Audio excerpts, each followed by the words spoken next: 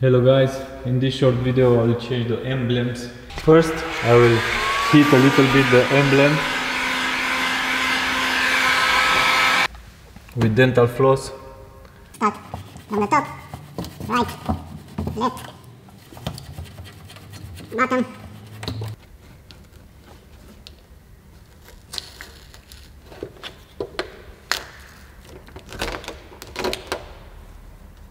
It came out like this. With this rubber disc I will take down the double side tape left on the car.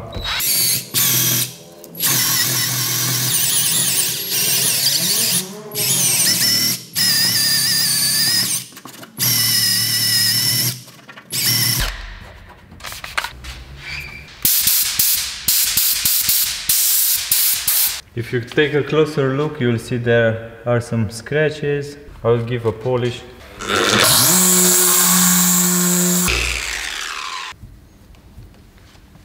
This is the new badge. It is in black gloss.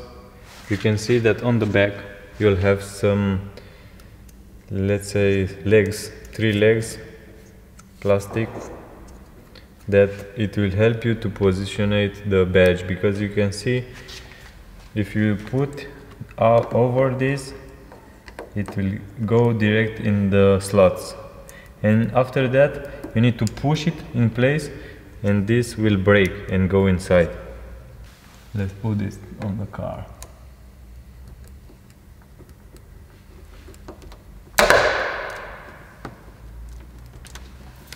For the front one the same thing. Give it a little bit of heat